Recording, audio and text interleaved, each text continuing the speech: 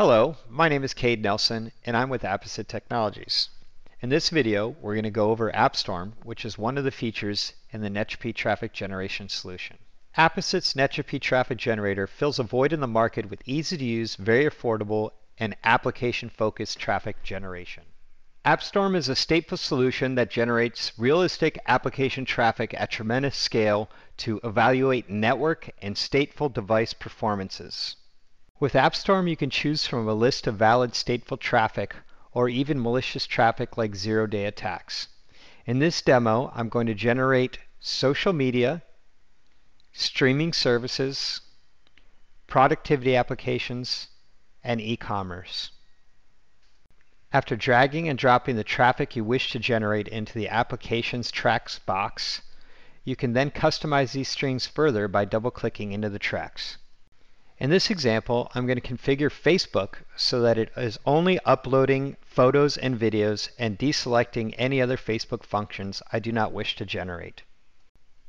Next, I'll double-click into the productivity track and make sure only Dropbox, GitHub, and Google Play are enabled.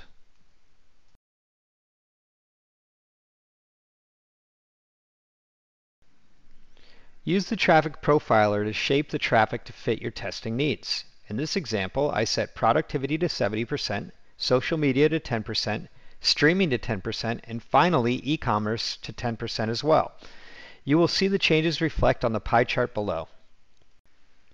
Using the profile load, you can set the test times, intervals, as well as the ramp up and ramp down times. In this example, I set the time to run for 10 minutes two times. I then adjust the ramp up and ramp down times as needed.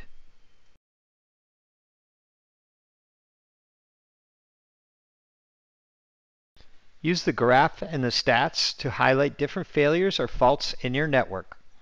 Use the show per stream statistics to verify QoS rules and priorities and verify they are functioning as expected.